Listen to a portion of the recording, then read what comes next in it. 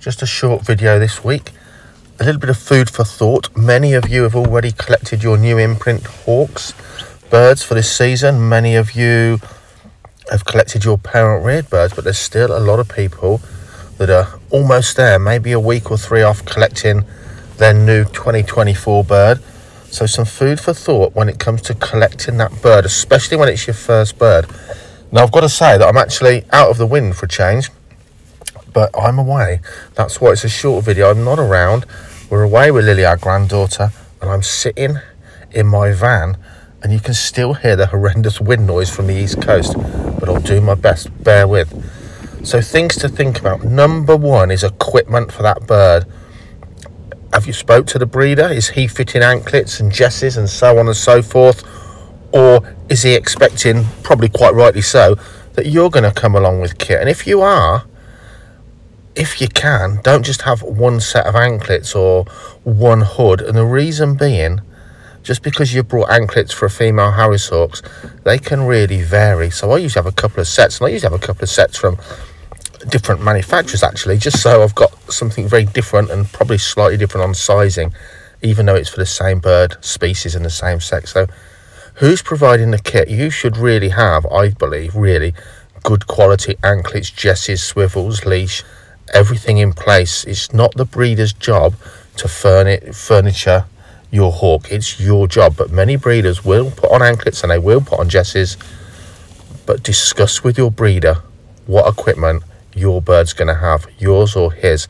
To be honest, if you're his or hers, if they're providing kit, you want a set anyway. You want a spare set of everything, really. Are you expected to get the bird home and kit it up yourself with your kit? Or has the breeder agreed that he's going to net up the bird for you and he's going to assist you fitting those anklets and other, other furniture so it's all there when you get home? So really talk to your breeder as time gets towards collection time. Who's doing what? Who's providing what? Are you going to get any help? Or is he just expecting you to put that bird in a box and sort your life out when you get home? Most decent breeders, especially for a first time buyer, they will at least help you kit up the bird. Are you going to hood that bird on the way home? So, falcons, pretty much across the board, you're going to hood that bird. Hood it and travel it hooded. I've picked up many falcons hooded on the fist, and a friend of mine's driven home with a bird on the glove and a towel on my lap. Equally, I've collected goshawks, hooded them, and they've travelled home in a standard hawk travel box, and they've travelled home and they've sat on the perch hooded all the way back with no problem. And you can get them out of the box without any fluster or flapping. Equally, some birds will go ballistic when they're hooded, and you'd often be better off travelling those back in a darkened box. Just depends on the bird. It depends on the species and it depends on the individual. But are you going to hood that bird to make it easier to take it home? Or is that going to be a problem? If you are going to hood it, have at least two hoods, slightly different sizes. They're like well fitted, tailor made shoes. Just because you've got the hood for the right species, just like the anklets and the right size bird, whatever, it doesn't mean that hood will fit. And if it's too tight, you really can't travel it hooded. And then it does come to the the travel boxes. Hopefully, you brought yourself a nice new shiny travel box, uh, ready to travel your hawk in around the countryside or around the country or around your local area once you get out training and hunting. Are you traveling in that hard plastic box or wooden box, or are you going to find another way? So let me tell you that a lot of birds will not travel in a travel box when they're just being collected. They won't sit on the perch. They'll go ballistic. They'll bang and jump around all the way home, especially the ones that aren't hooded. They're going to be hitting a very hard plastic surface. To be quite honest, it often works out best to simply have a good sized, sturdy cardboard box, holes low down, right near the bottom around the bird's feet, so it's not trying to jump up to a light source coming in and this is how to do it. Don't chuck a towel in the bottom of the box. It's just going to get all bunched up as you travel around. The bird's going to scrabble around. It's going to bunch that towel up, and you just have a pile of towel and feathers in one corner when you get home.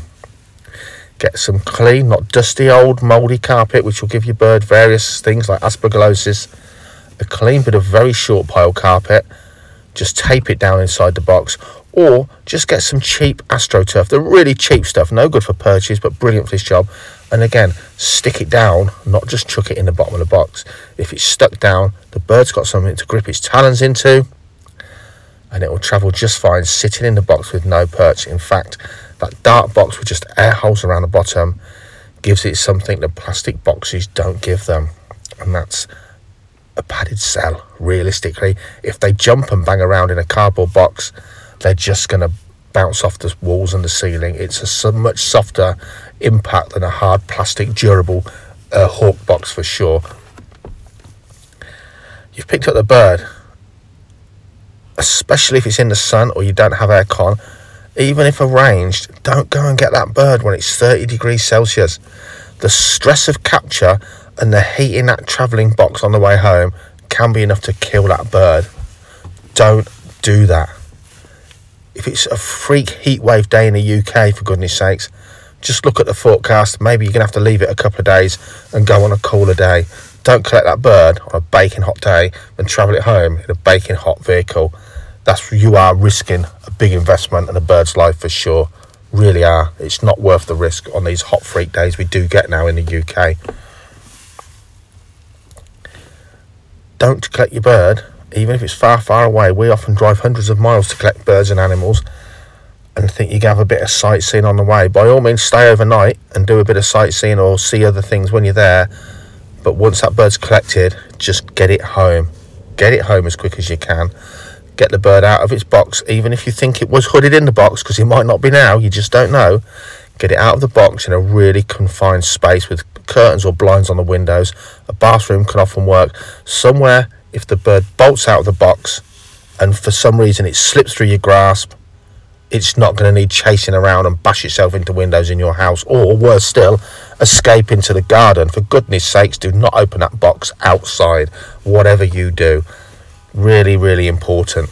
So you've collected the bird, you've got it home, it's nice and cool, maybe or maybe not it's hooded, it's probably in a cardboard box for the, the bird's safety's sake, you've unpacked the bird when you've got home in a really confined space in a darkened room. As dark as better, as long as you can see what you're doing.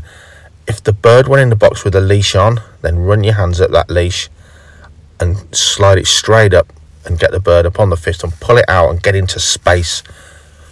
Get that bird tethered to the glove, safety position. You know all this because you've done all this research before you've even thought about getting a hawk and then decide what you're going to do from then on. This is only about collecting that bird. From them on, from then on, the one thing I would say is something that seems counterintuitive because you want to keep the bird cool.